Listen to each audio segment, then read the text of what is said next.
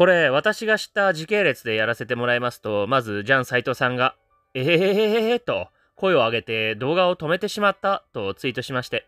何事かと思ったら、このような刺激的な文字が書かれている動画の一場面をスクショしたものが添付されておりまして、そこにはこうあります。堀口教授 VS パトリックミックス。10回やっても10回負けると思うと。これは主語は堀口教授選手ですね。何回やっても勝てないと。で、この主張をしているのが、ボクシングの元日本チャンピオン、ナイジェリア人のハーフでもある、細川バレンタインさん。現在では現役引退しているようです。MMA ファンからすると、大久保博正選手とコラボをしたことで、知った人も多いかもしれませんね。そしてさらに、元ボクサーということで、ジャン斎藤さん、専門外なのに、そこまで言い切るのかという驚きもありました。で、さらに、今回は確かに差があったし、再戦しても同じ試合の組み立てなら分が悪そうですが、10回やって10回負けるとは思いませんけど、点点点。MMA って展開が複雑だから、10回やって10回負ける競技ではないですし、点点点と。で、この投稿に対して一般の方が、ベイノア舐めてんな。お前だってカイトに10回やっても10回負けそうな倒され方したくせに、と。で、ジャン斎藤さんそれに対して、あ、ベイノアさんじゃないです。はい。これどっちなんだろう？ガチで間違えてんのかな？細川さんとベイノア選手が似ているというね。まあ、こういうやりとりもありまして。で、このジャン斎藤さんの発言に対して目立ってた意見としては、個人の考えなんだからいいだろというのがありまして、それに対しては、ジャン斎藤さん。あ、別にこういう発言をするなと言ってるわけじゃないです。僕としては10回やって10回負けるとは思わないというだけですね。そちらも個人の考えだし、私も個人の考えを述べただけですと返しておりまして。で、他にはですね、評価は人にされるものなので、そう思われる試合をしたのが堀内選手だったということでいいんではないですか？と。で、それに対しては、ジャン斎藤さん。はい、おっしゃる通りですね。で、僕はそうは思わなかっただけですと返しております。で、他にもう一つ多かった意見としては、動画の一部分だけを切り取って晒すべきではないという意見についてはどう思いますか？動画作成者の意図が正確に伝わらなくなると思うのですが、これに対してジャンサイトさん、その指摘は最もだということで、チェックしてみて熱心に分析されてるなと思ったんですが、10回やって10回負けるはあまり納得いきませんでしたと。きちんと見た上で、でもそこはそうは思わないと。で、さらに、先ほどと似てはいるんですが、このような一般の方からの意見もありまして、動画の一部を切り取って、結果、批判がその人に言ってることが問題なのわからないんですか？と。で、ジャンサイトさん、それに対して、確かにそうですね。当該画像ツイートを削除して、細川バレンタインさんにお詫びいたしますと。はい。今後なので、ジャン斎藤さんの分かりやすいスクショ付きでのツイートはなくなってしまったようで、花からスクショ1枚で特に判断してなかった私としては分かりやすいサムネ画像がなくなってしまうということで、まあショックでしたが。で、他にはですね、ジョビンさんもこの件に関して、細川バレンタインさんはボクシングをやったことない人に、細川バレンタインさんの試合を批評されて、10回やっても10回負けると思うって言われても怒らんのかなとツイートしておりまして、これはもう実際見に行くしかないということで拝見させていただきました。速報、堀口教授 VS パトリック・ミックス。一番の武器の〇〇が封じ込められたために悔しい結果に、このあまりにもある慎重さ、どうしたらいいのというタイトルの動画になります。細川バレンタインさん。残念ながらだけど、俺の予想通り堀口教授負けちゃったよ。身長15センチ差。リーチ差もある。ここまでの差があると、パッチーミックスが堀口教授の天敵になるとは思っていた。その通りになった。これまでは負けた教授の試合でも、タラレバを考えた時に、どんなに強い相手でも、10回中5回は勝つなとか、そういう考えに至ってはいたが、しかし今日のパッチミックスは皆さんも思うと思うんだけど、10回やって10回負けると思う。ここの部分ですね。俺は恭司のステップは普段は走り抜けるという軽快さを感じるが、今回は掴まれたくないという思いがあったからだと思うが、それが半減していたと思う。パッチミックスはレスリングベースで、柔術もできるから、こかすのもうまいし、グラウンドに持ってくまでのボディバランスも半端じゃない。パッチミックスにテイクダウンを許した場合、すぐに決められてしまうことがほとんどだが、教授は3ラウンド、5ラウンドでガードポジションに戻していたので、そこはさすが、他の選手とは違う。ただ、何をすればミックスに効果的な攻めができるのか思いつかない。しかも、パッチミックスは後ろ重心で、前足に体重が乗ってないので、教授のカーフキックも流されてしまって手詰まり。どうしたらいいのって思った。2ラウンド、4ラウンドは教授のラウンドとなっているが、それは教授が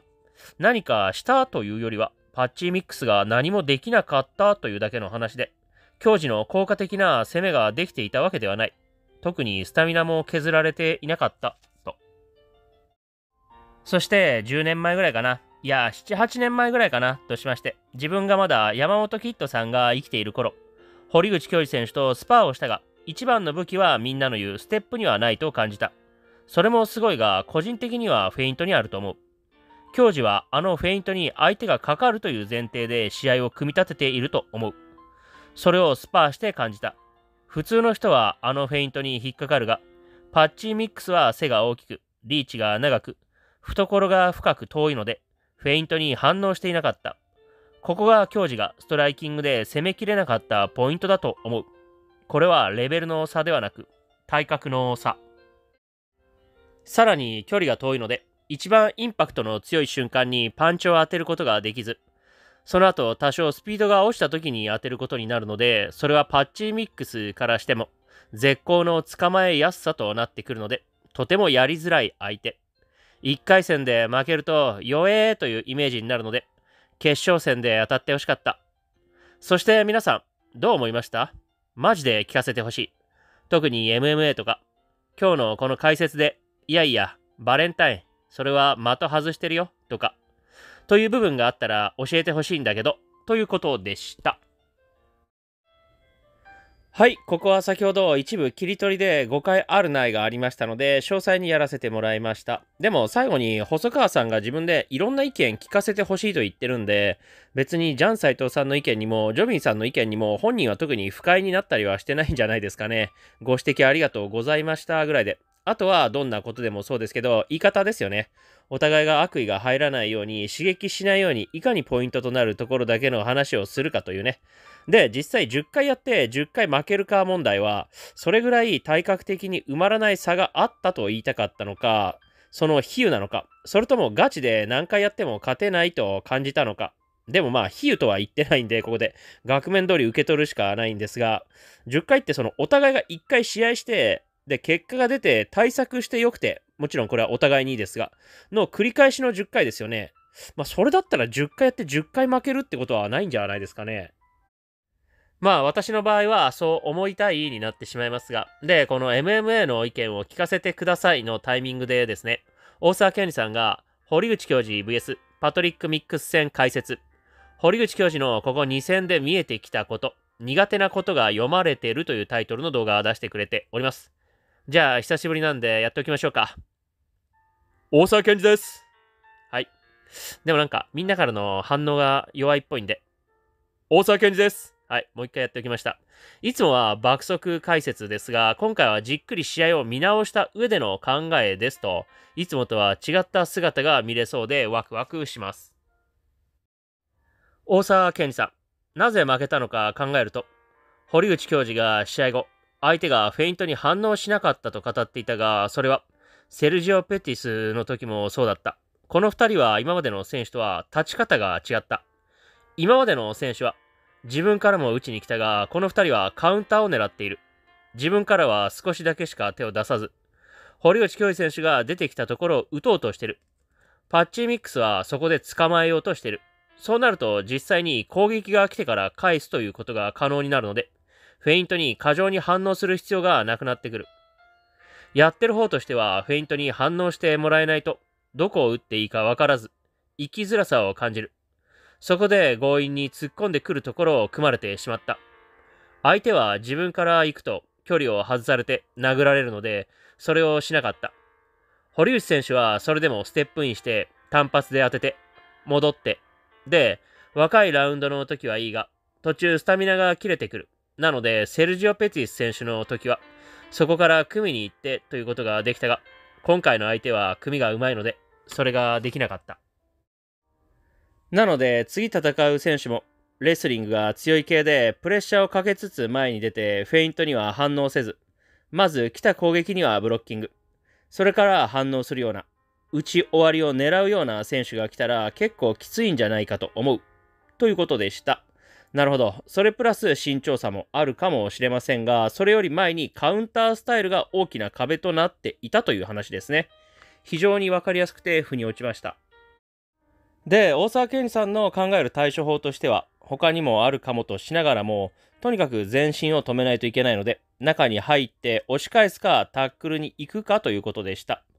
でも、それだとやはり堀口教授選手より組のうまい、体が大きい選手には相性はなおさら悪くなってきますよね。なんか、堀口選手が10回中何回とかより、この対処法が気になっていきました。あとはやっぱローで足から崩す重心が後ろという話ありましたが、それでもそこから切り崩してやるしかないんですかね。完全にもう相性、じゃんけんみたいな話になってきてますね。でも、ここのところ、組が強い選手がよく勝ってるイメージもあります。そして、そんな大沢健二さん、ここのところ、サトシ・ソーザ選手に顔が似ていると、たまに人に言われるらしく、で、それを気に入ってるようで、若干押し気味でもあるんですが、一般の方がポスターかなんかのめちゃイケメンのサトシ・ソーザ選手の写真をツイッターに添付して、大沢健二ですと投稿したところ、大沢健二さん本人がそれを引用リツイートして、現役の時の写真です。てへ？と投稿し直すということもありました。はい。てへ？だって。かわいい。で、ラストですね。話はジャン斎藤さんに戻りまして、一つ皆さん心の隅に引っかかってることはありませんか？ジャン斎藤さん、そもそもボクシング関連の動画もチェックしてるんだ。すご。意外。勉強熱心。と思った人もいるかもしれませんが、それに対してはこう返答しております。先日のボクシング世界戦の計量失敗問題はボクシング界隈ではどう語られているんだろうと見回っていたら発見してしまいました。普段は中日ドラゴンズ関連の動画が中心です。と。これはこの間行われたミニマム級のタイトルマッチ。谷口正隆チャンピオンに対する石澤選手がなんと軽量で2.5キロもオーバーし、しかし両陣営の協議の結果、谷口選手を説得したとありますが、タイトルマッチは強行され、で、結果、リミットいっぱいで軽量クリアした谷口チャンピオンが勝利し、タイトルを防衛したという話ですね。その件について詳しく知りたかったので、動画を漁っていたら偶然ここに行き着いたということのようです。そして続きまして、こちらは本当にちょっと感動したんですが、梅野源選手のツイッターでプレゼントとしまして、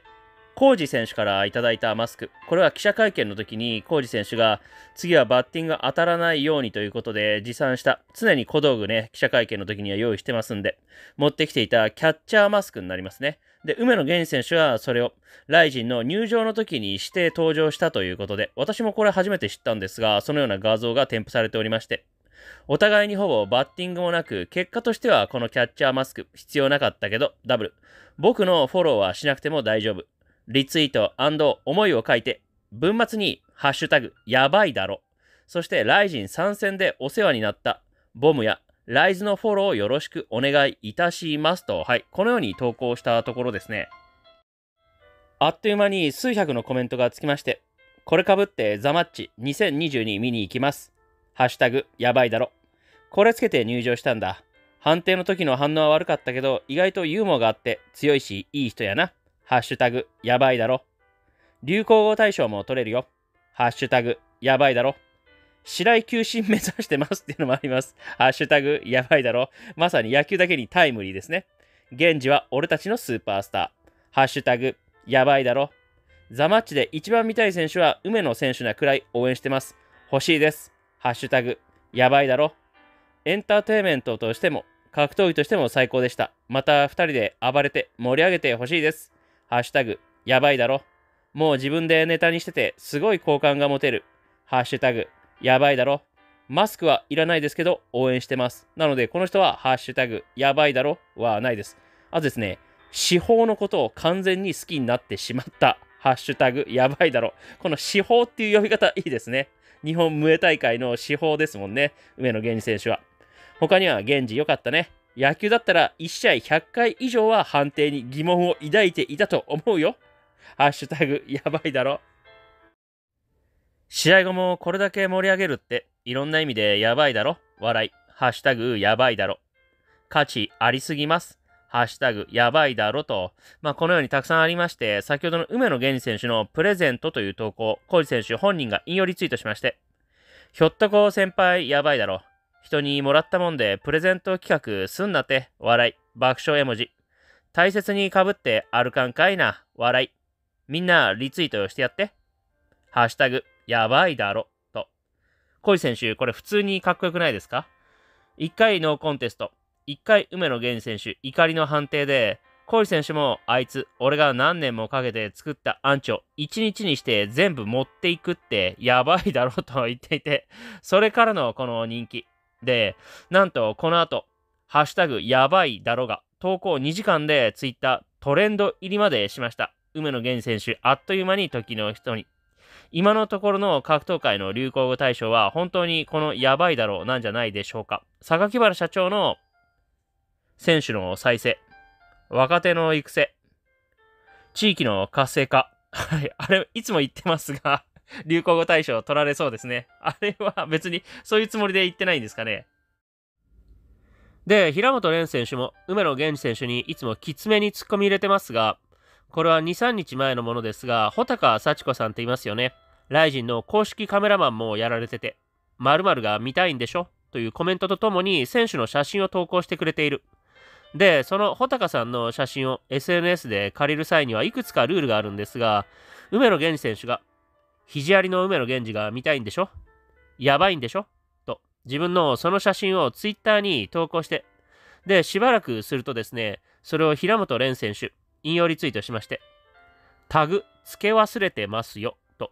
この写真をお借りした元の、まあ、URL みたいなものを貼り付けるルール忘れてますよ、梅野さんと教えてあげておりまして、で、梅野源選手はそれに対して、平本選手、教えていただき感謝、これからも応援していますと、で、さらにですね、前の投稿、タグ付けを忘れてしまい、大変申し訳ございませんと。で、ここで貼っ付けまして、いつも素敵な写真を撮影いただき感謝しております。穂高さんのフォローよろしくお願いいたします。と。と投稿しまして、穂高幸子さんもその後、平本選手ありがとうとツイートしておりまして、平本蓮選手、キャッチャーマスクからのつながりで言えば、このようにいい女房役的働きを見せておりました。ハッシュタグ、実は節度あるだろですね。で、平本蓮選手のこちらもある意味ネガキャンになってしまうんですが、先日自分のブランドのポップアップを行いましたよね。で、その際にですね、一般の方が、レン君と写真撮ってもらって、コーヒーこぼしてスニーカーにかけてしまいました。申し訳ございませんでしたと、そのようなアクシデントを起こしてしまったようなんですが、平本蓮選手、それを引用リツイートしまして、たかが消耗品の靴ごときで、そんな気にすんなよ。ネバーマインド。と。で、その方、ありがとうございます。心が救われました。と。で、平本蓮選手、さらにその後、別走行で、いい靴は、くっそ汚くして履くのが気持ちいいじゃん。これはあれですね。平本蓮選手、薬でもやってるんでしょうか？平本蓮選手は逆にいいことやるとね、薬でもやってんのかなと疑われてしまうというね。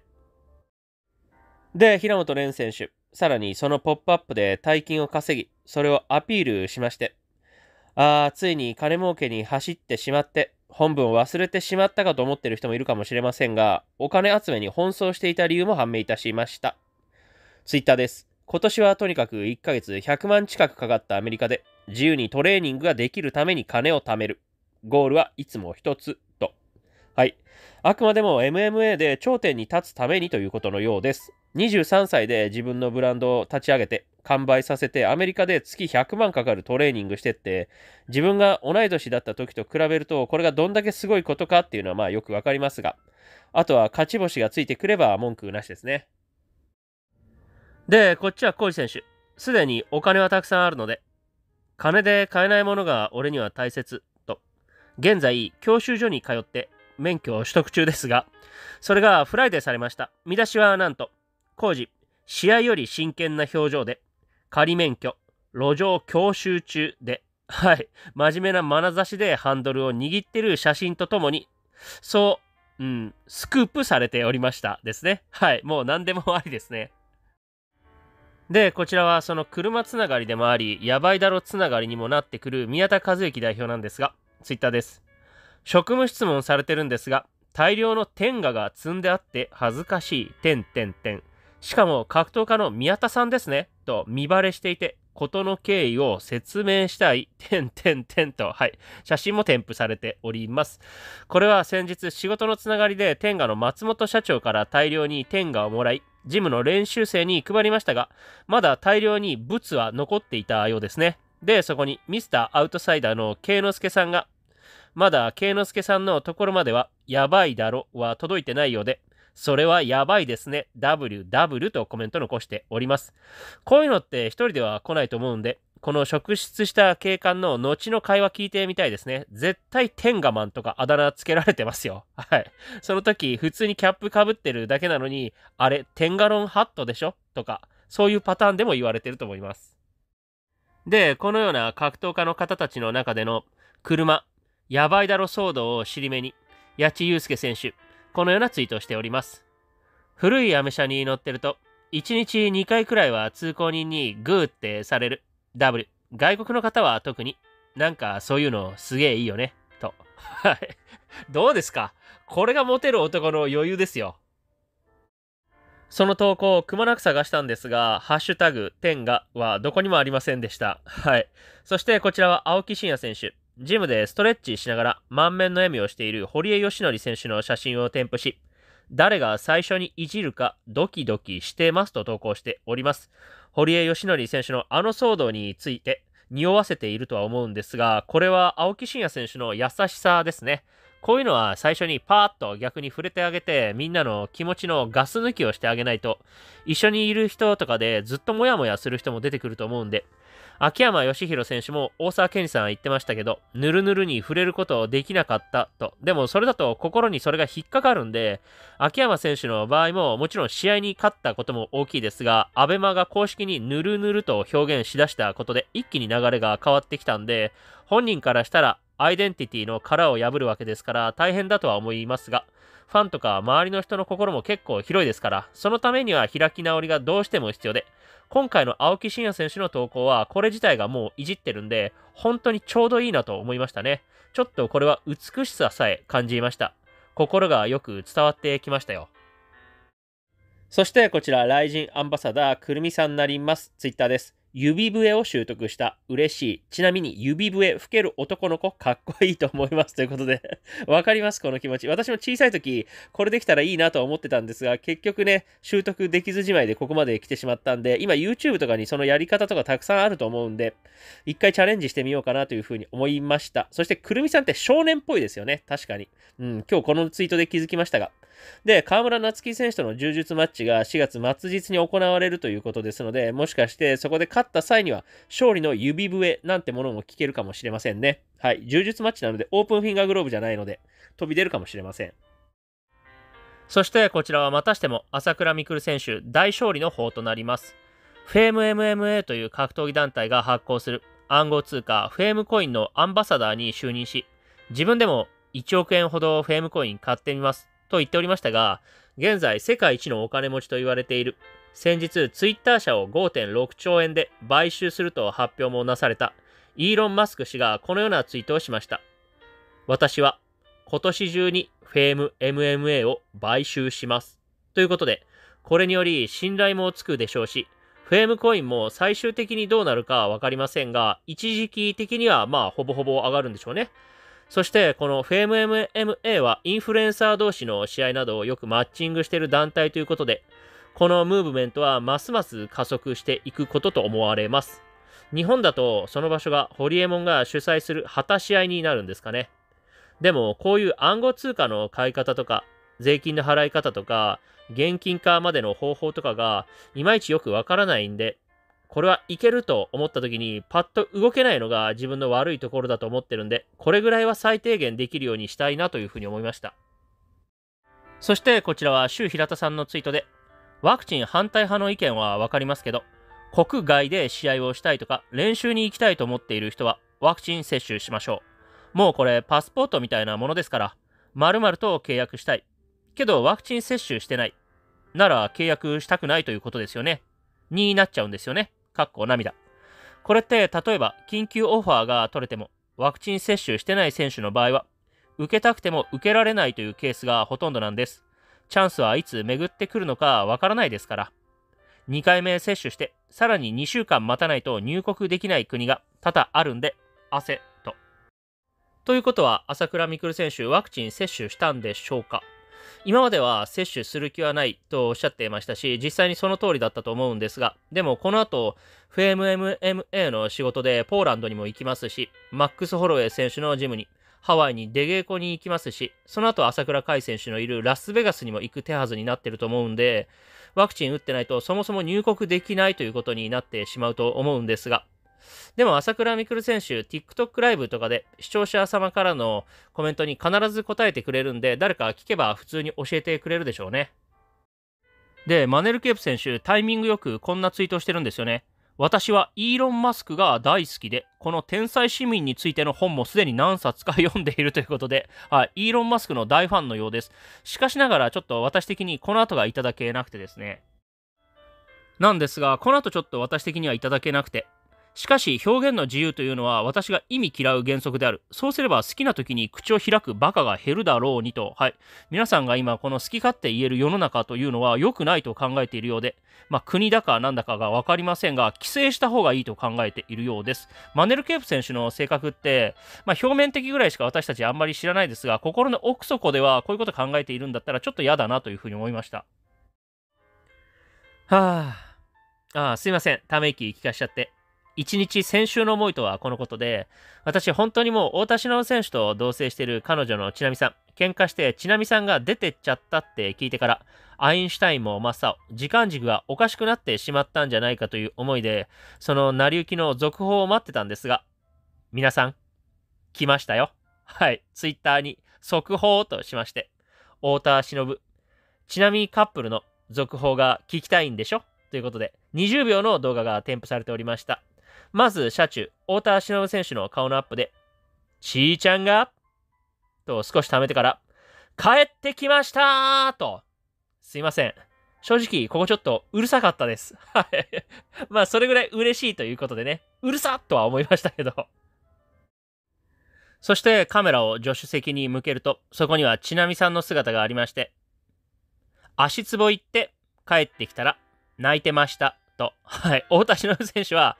決して泣いてはないととても嬉しそうでした。家出て行ったというよりは、ただ足つぼに行っていただけなのかもしれません。何はともあれ太田忍選手。これだけ入れ込んでる彼女と同棲もしていて、それはカップルチャンネルも始めるぐらいで、本当幸せなんでしょうね。これはもう銀メダル以上の価値があるということで、もう金メダリストということでいいんじゃないでしょうか。恋のね。そして本日ラスト、モチベーションが上がる言葉を3つ紹介させてもらって終わっていきたいと思います。まずはボクシングの中谷正義選手。先日パンドストームで敗戦してしまった宇佐美パトリック選手と関係がありますので、そのことについて SNS の投稿です。昨日は後輩の応援に、望んだ結果は得られなかったかもしれないけど、この試合の経験が選手として、そして人として大きく成長することにつながると思う。人生は何事もなさぬにはあまりにも長いが、何事かをなすにはあまりにも短いという言葉があるけど、日々本気で生きていると、あっという間に時間は過ぎるけど、元世界チャンピオンの和島光一さんの言葉でもある。焦るな。でも、急ぐんだ。というように、焦らず、けど急ぎ、着実に歩んでいってほしいと思う。とても刺激をもらえた。ありがとう。と。続いて、ヤーマン選手。昨日と同じことをやってたら人生なんて変わらない。ずっと昨日と同じ人生。小さいことでもいい。昨日と違うことをやってみる。1年後はきっと大きく変わる。俺はそうやってここまで来た。と。そしてラスト。青木真也選手。今週も日々皮1枚にも満たないであろう積み上げを繰り返そうということです。はい。こういうの聞くとやる気が起きるんですが、まあ次の日、うん、まあ1時間ぐらいかな、するとやる気がまたなくなってくるんで、1時間は言い過ぎかもしれませんが、なので日々新しいモチベーションの言葉っていうのを注入し続けなければいけないということで。で、それが注入できるのがこのチャンネルということで、はい。ラスト CM で終わりました。はい。というわけで本日は以上となります。皆さん人生で一番最初にファミコンやった時のことを覚えてますでしょうか？まあ若い人はファミコンじゃなかったかもしれませんが、私はその時のことを今でも明確にはっきりくっきり覚えてるんですよね。小学校、それは1年生だったか、まあ2年生か3年生の時だったんですが、はっきり覚えてねえじゃねえかっていうね。うんと、じゃあまあ1年生の時にしますね。1年生の時に友達3、4人で友達の家に集まってて、で、最初にやったのがスーパーマリオブラザーズだったわけですよ。で、最初にクリボー出てくるじゃないですか。で、あそこはクリアできたんですよ。で、その後、小さくジャンプしなきゃいけないところありますよね。穴ぼこっていうのかなあって落ちたら死んじゃうとこ。で、そこを3回連続失敗してしまったんですよ。走り抜けようとしたりして。まだ最初だったんで、タイミングわかんなくて。そしたら友達がですね、そのファミコン持ってる。私からリモコンパッと奪って、お前にはもうやらせないって言ったんですね。で、それでムカついたんで、それをパッと取り返して、ふざけんなよって言って、ちょ、もう一回見てろって言って、さらに2回失敗してしまったわけですよ。つまり、まあ、計5回失敗してるわけですよ。で、その時のトラウマが今でも私を苦しめておりまして。なので、これから先私が何かで失敗した際にはですね、それは私の実力ではなくて、その時のスーパーマリオのせいですので、はい。でもこういう人はいるのかな？あ、でもなんか友達とかではないけど、なんか昔いじめられてて、で、その記憶があるから今でも頑張れないみたいなこと言ってるね、えー人聞いたことありますが、まあやめた方がいいですよ、そういうことは。うん、でも私の場合は、はい、実力じゃなくて、そのせいですので、はい。という風に見てください。高評価、チャンネル登録して通知をポチッとオンにして、また聞いてね。